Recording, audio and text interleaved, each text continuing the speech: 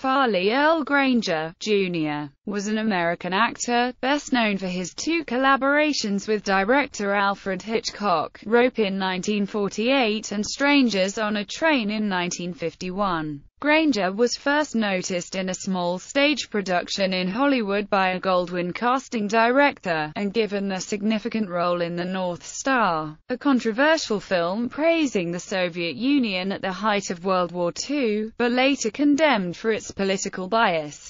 Here he made useful contacts, including Bob Hope, Betty Grable and Rita Hayworth. It was also where he began exploring his bisexuality, which he said he never felt any need to conceal. In 1948, Hitchcock cast him in Rope, a fictionalized account of the Leopold and Loeb murder case, which earned mixed reviews, but much critical praise for Granger. Hitchcock then cast him again in Strangers on a Train, as a tennis star drawn into a double murder plot by a wealthy psychopath played by Robert Walker. Granger described this as his happiest filmmaking experience, though he was deeply affected by his friend Walker's death from an accidental drug overdose soon afterwards. Granger continued to appear on stage, film and television well into his 70s. His work ranged from classical drama on Broadway to several Italian-language films and major documentaries about Hollywood. He tended to find fault with his directors and scriptwriters, however, and his career remains defined by the two Hitchcock films. Early life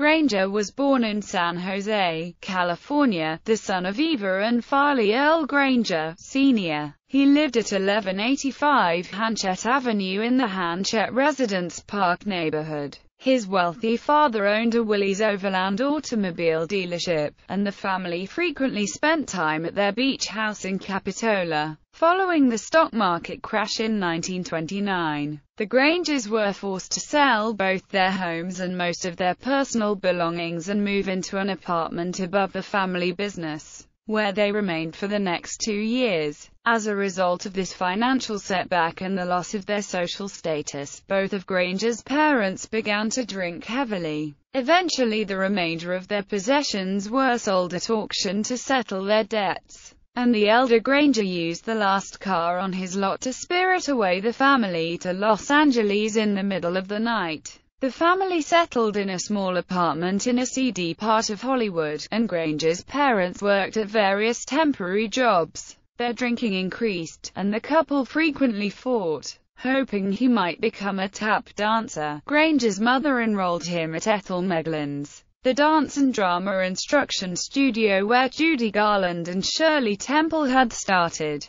Granger's father found work as a clerk in the North Hollywood branch of the California Department of Unemployment, and his salary allowed him to put a small down payment on a house in Studio City, where their neighbor was actor, dancer Donald O'Connor. At his office, Granger's father became acquainted with unemployment benefits recipient Harry Langdon who advised him to take his son to a small local theatre where open auditions for The Wookey, a British play about Londoners struggling to survive during World War II, were being held. Granger's use of a Cockney accent impressed the director, and he was cast in multiple roles. The opening night audience included talent agent Phil Gersh and Samuel Goldwyn casting director Bob McIntyre, and the following morning Gersh contacted Granger's parents and asked them to bring him to his office that afternoon to discuss the role of Damien, a teenaged Russian boy in the film The North Star. Granger auditioned for producer Goldwyn, screenwriter Lillian Hellman and director Lewis Milestone. Hellman was trying to convince Montgomery Clift to leave the Broadway play in which he was appearing, and when her efforts proved to be futile, the role was given to Granger. Goldwyn signed him to a seven-year contract for $100 per week. Early career The studio publicity department was concerned audiences would confuse Granger with British actor Stewart Granger, so they suggested he change his name and offered him a list from which to choose.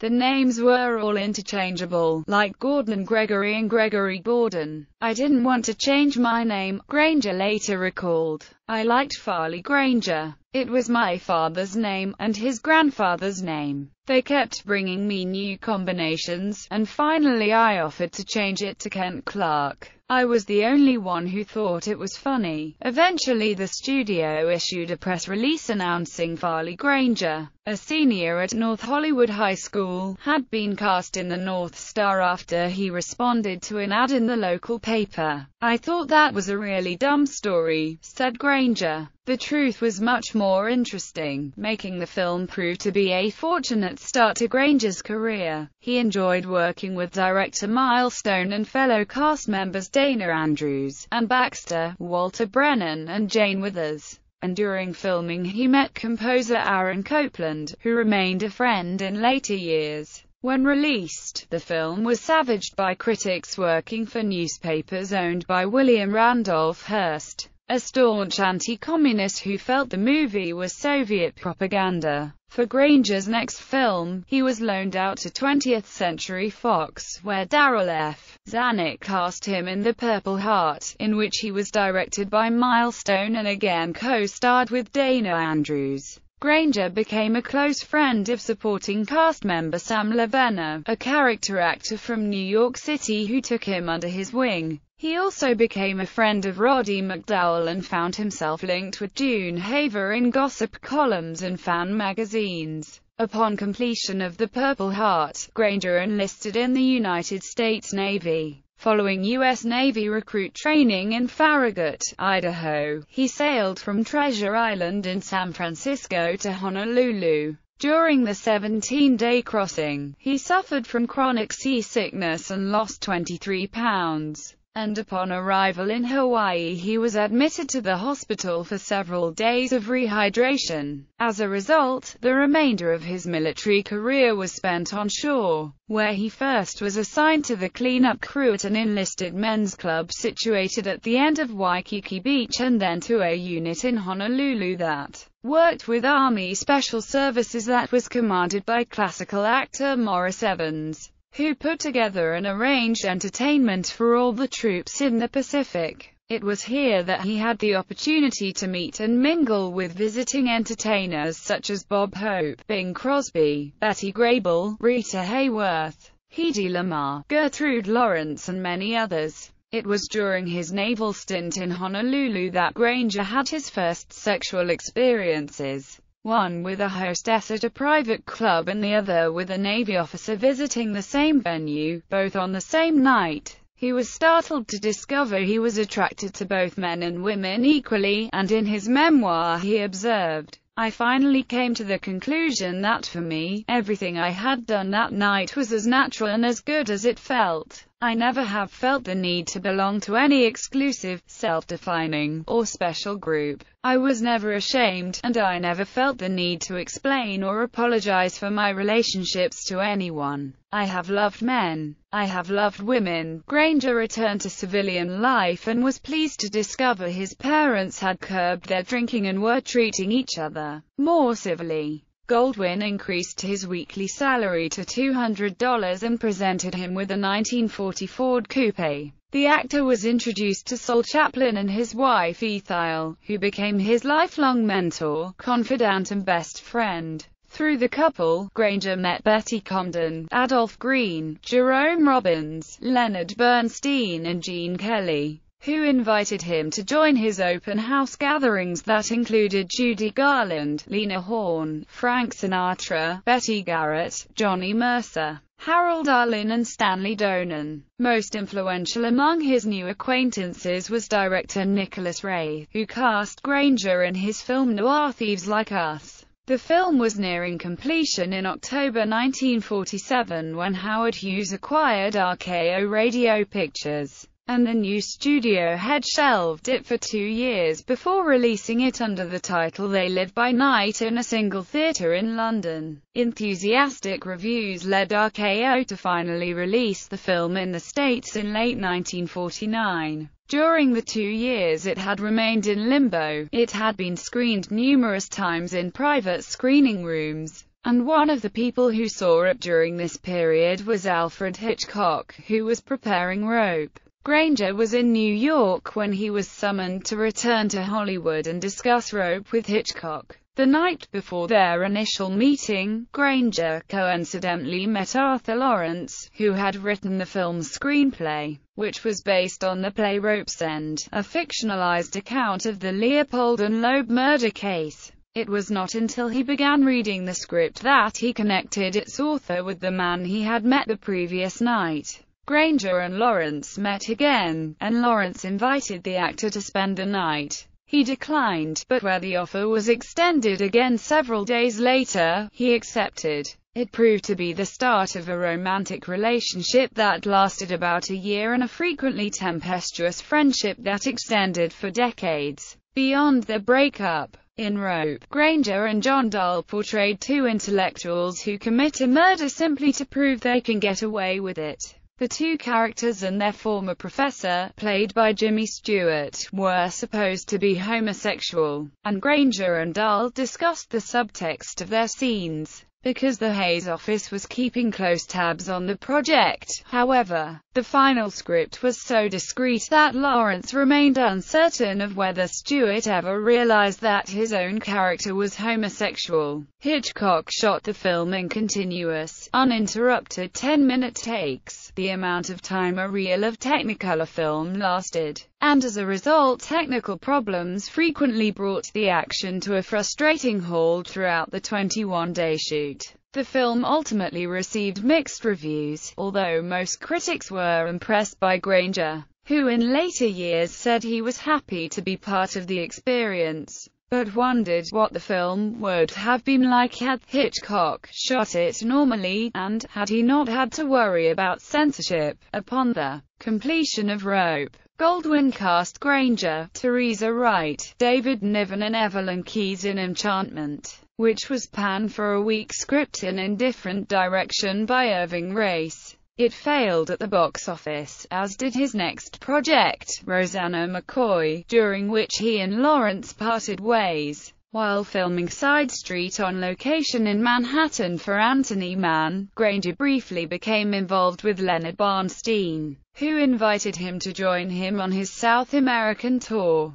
By the time Granger completed the film, the composer-conductor had married Costa Rican pianist and actress Felicia Montealegre. The two men remained friends until Bernstein's death. Leading roles Granger's next two films for Goldwyn, Edge of Doom and Our Very Own, were unpleasant working experiences and the actor refused to allow the producer to loan him to Universal Pictures for an inferior Magic Carpet saga. When he was placed on suspension, he decided to accompany Ethyle Chaplin, who had separated from her husband and her daughter on a trip to Paris. At the last moment they were joined by Arthur Laurents. He and Granger engaged in a casual affair until the actor was summoned to return to New York to help publicize Our Very Own Edge of Doom, both of which received dreadful reviews. Goldwyn cancelled the nationwide openings of the latter, hoping to salvage it by adding wraparound scenes that would change the focus of the film, and Granger refused to promote it any further. Once again placed on suspension, he departed for Europe, where he spent time in Italy, Austria and Germany with Laurents before being contacted about an upcoming film by Alfred Hitchcock. The project was Strangers on a Train, in which Granger was cast as tennis player and aspiring politician Guy Haines. He is introduced to psychopathic Bruno Anthony, portrayed by Robert Walker, who suggests they swap murders with Bruno killing Guy's wife and Guy disposing of Bruno's father. As with Rope, there was a homosexual subtext to the two men's relationship, although it was toned down from Patricia Highsmith's original novel. Granger and Walker, whose wife Jennifer Jones had recently left him for David O. Selznick, became close friends and confidants during filming, and Granger was devastated when Walker died from an accidental combination of alcohol and barbiturates prior to the film's release.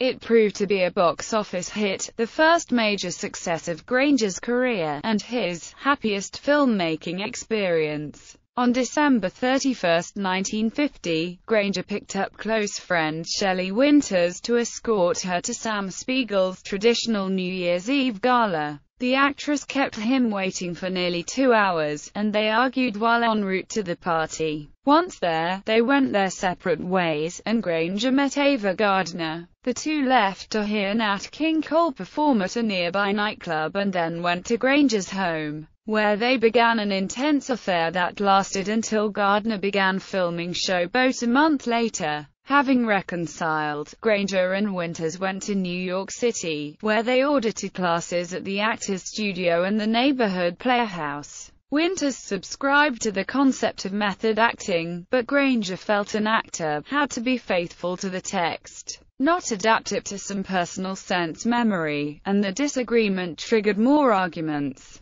Their plan to pursue individual training programs was disrupted when both were called back to Hollywood. Goldwyn cast Granger in I Want You, a drama about the effect the Korean War has on an American family still trying to recover from World War II. Granger thought the screenplay by Irwin Shaw was not only dull, but felt dated, but welcomed the opportunity to work with Dana Andrews and Dorothy McGuire. Goldwyn expected the film to be as successful as The Best Years of Our Lives, but it proved to be as tepid and old-fashioned as Granger feared an opening after ceasefire negotiations with Korea had begun, no longer topical, and it died at the box office. His subsequent projects, a screwball comedy with Winters called Behave Yourself, The Gift of the Magi segment of the anthology film O. Henry's Full House, and the musical film Hans Christian Andersen, were no more successful.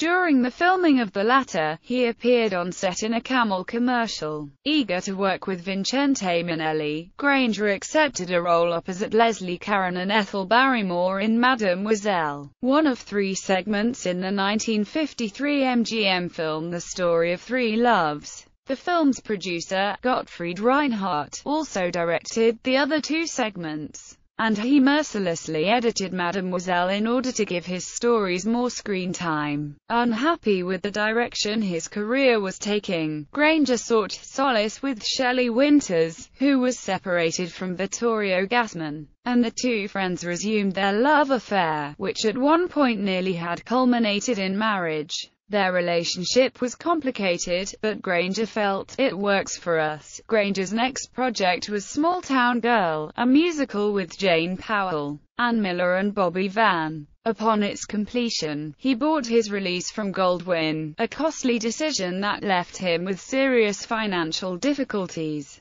Granger was determined to move to Manhattan to study acting and perform on stage, but his agent convinced him to accept a role in Senso, directed by Luchino Visconti and co-starring Alida Valli. Filming in Italy lasted nine months, although Granger frequently was idle during this period, allowing him free time to explore Italy and even spend a long weekend in Paris, where he had a brief affair with Jean Marais. During his time in Venice, Granger renewed his friendship with Peggy Guggenheim, whom he had met during his earlier trip to Italy with Arthur Laurents, and he met Mike Todd, who cajoled him into making a cameo appearance as a gondolier in his epic Around the World in 80 Days. He finally returned to Hollywood exhausted but happy about the experience. Upon his return to the States, Darryl F. Zanuck offered Granger a two-picture deal, and in quick succession he made The Girl in the Red Velvet Swing, in which he portrayed tycoon Harry Kendall Thaw, and The Naked Street, a melodrama the actor thought was preachy, trite and pedestrian, although he welcomed the opportunity to work with Anthony Quinn and Anne Bancroft. In 1955, Granger moved to New York and began studying with Bob Fosse, Gloria Vanderbilt, James Kirkwood and Tom Tryon in a class taught by Sandy Meisner at the Neighborhood Playhouse. During this period he made his Broadway debut in The Carefree Tree, a play with music based on an old Chinese legend. The cast included Janice Rule as Granger's love interest and Alvin Ailey, Frances Sternhagen, Jerry Stiller and Sada Thompson in supporting roles. The play closed after only 24 performances, but shortly after its demise Rule moved in with Granger, and before long they were making wedding plans. They gradually realized the love their characters had felt on stage actually had not carried over into real life and the two went their separate ways, although they remained friends until her death in 2003. With both his film and theatrical career foundering, Granger turned to television. He starred in Beyond This Place, an adaptation of the A.J. Cronin novel of the same title, with Shelley Winters and Peggy Ann Garner, and joined Julie Harris for a remake of The Heiress. He also was featured in episodes of Climax Mystery Theater, Ford Television Theater, the 20th Century Fox Hour, Robert Montgomery Presents, Playhouse 90, Wagon Train, Kraft Television Theater, the United States Steel Hour, and the Bell Telephone Hour, and in later years Get Smart. Run for Your Life, Ironside, The Name of the Game and Hawaii Five-O, among others. In 1959, Granger returned to Broadway as Fitzwilliam Darcy opposite Polly Bergen as Elizabeth Bennet in First Impressions, a musical adaptation of Pride and Prejudice with a book and direction by Abe Burrows. The tryout in New Haven was a disaster, and reviews were mixed. Things improved slightly during the Philadelphia runs, but by the time the production reached New York, Bergen, who was fighting bitterly with co-star Hermione Gingold, was experiencing serious vocal problems, and some of her songs would be cut during each performance, creating confusion for the rest of the cast. Only two of seven critics wrote favorable reviews. Bergen was replaced by understudy Ellen Hanley, and the musical closed in less than three months. Later that year, he was cast in The Warm Peninsula, a play by Joe Masteroff. Co-starring Julie Harris, June Havoc and Larry Hagman, it received fair reviews and closed after only 86 performances.